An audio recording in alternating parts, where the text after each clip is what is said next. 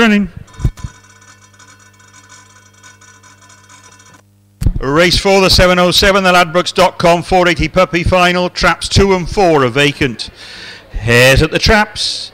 They're off, and six got a flyer on the run up. It's six from three, then comes one and five. It's six Montine Mikey going round two lengths up on three Charlie Bubbles. Then comes one Ad- Adele's JK and five Racquetball Oscar. Going a halfway, looks all over by the shouting already. Six has gone clear of three, one, and five. Uh, past the three quarters, and it's six further in front now. A one, there's trouble at the back. Uh, they're on the run in now, and it's six Montine Mikey winning unchallenged from one Adele's JK. 615.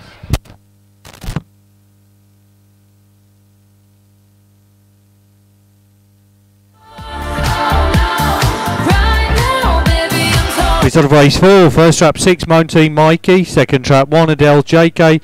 Third trap five, Racket.